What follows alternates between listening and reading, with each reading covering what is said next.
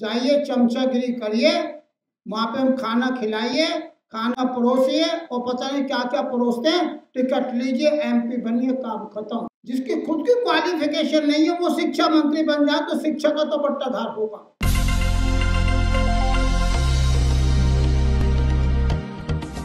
ऐसा आभास हुआ।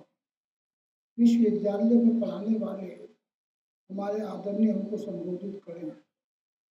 राष्ट्र की समस्याओं पर यहाँ पे विचार विमर्श हुआ कुछ समस्याएँ ऐसी होती हैं जो वास्तव में अपने आप में जीवन होती है।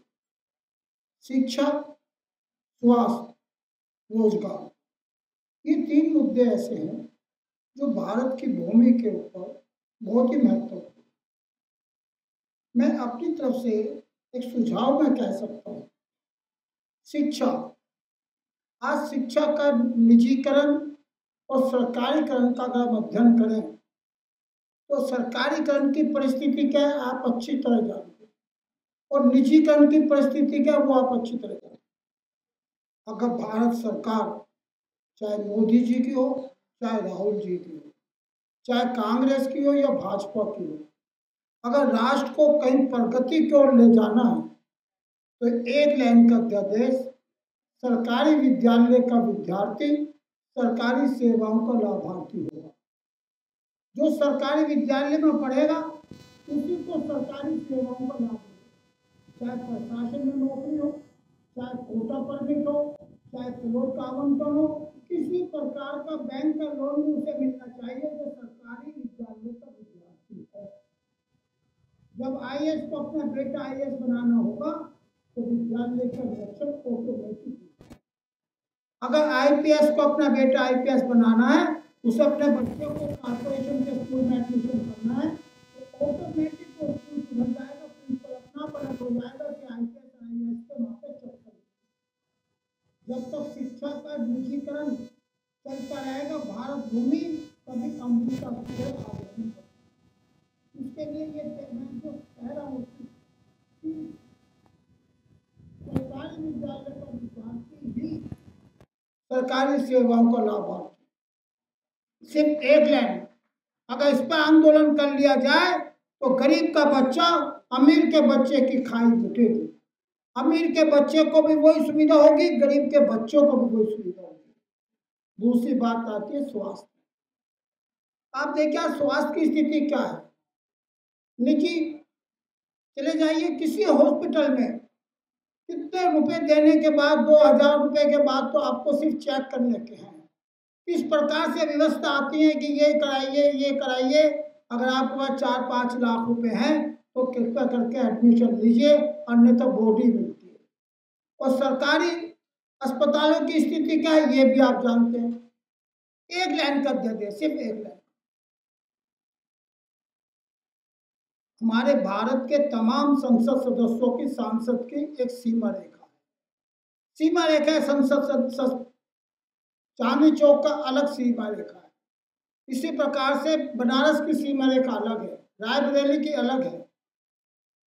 जिस सांसद का क्षेत्र है, उस क्षेत्र का प्रतिनिधि और प्रशासनिक अधिकारी का इलाज उसी क्षेत्र के अस्पताल में होगा, विदेश में जाने पर पाबंदी लगा दी जानी चाहिए।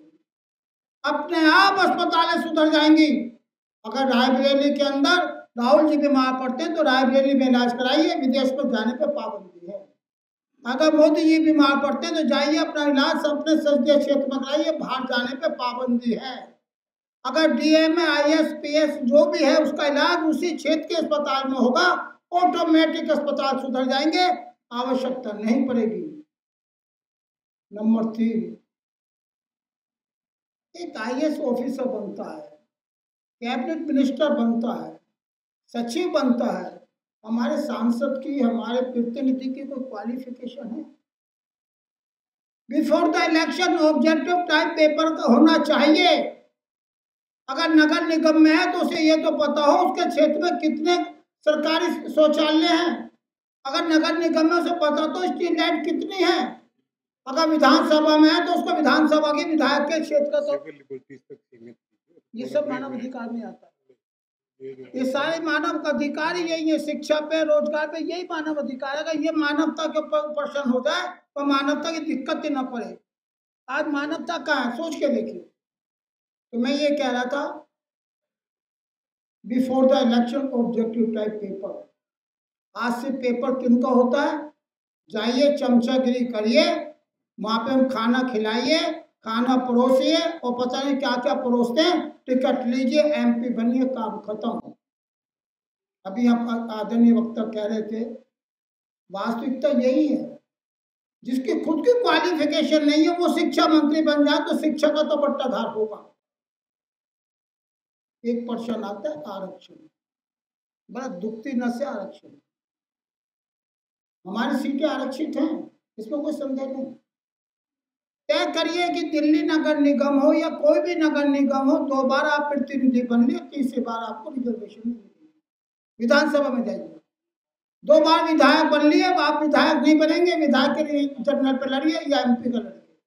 दो बार एमपी बन लिए रिज़र्व कोटे से, अब आप जनरल सीट पे लड़िए। एक ठेकेदारी नहीं, चिराग पासवान की ठेकेदारी नहीं मीरा कुमार की ठेकेदारी नहीं, ठेकेदारी सबकी समानता की आए जब तक ये सब चीज़ मूल ढांचों में परिवर्तन नहीं होगा, हम मानव अधिकार की बात कर लें, हम नारी के अधिकार की बात कर लें, संविधान के संशोधन की बात कर लें, एक शब्द में करके खत्म करूँगा।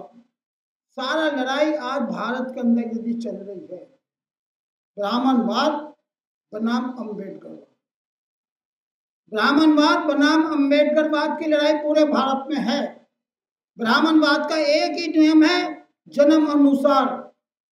और अम्बेडकरवाद का एक ही है, कर्म अनुसार। आप कर्म के आधार पर व्यक्ति पहचान करते हैं तो आप भारतीय संविधान को मानते हैं, और आप जन्म के आधार पर मानते हैं तो आप ढकोसले वाले पाखंड के मोदी जी को मानते हैं।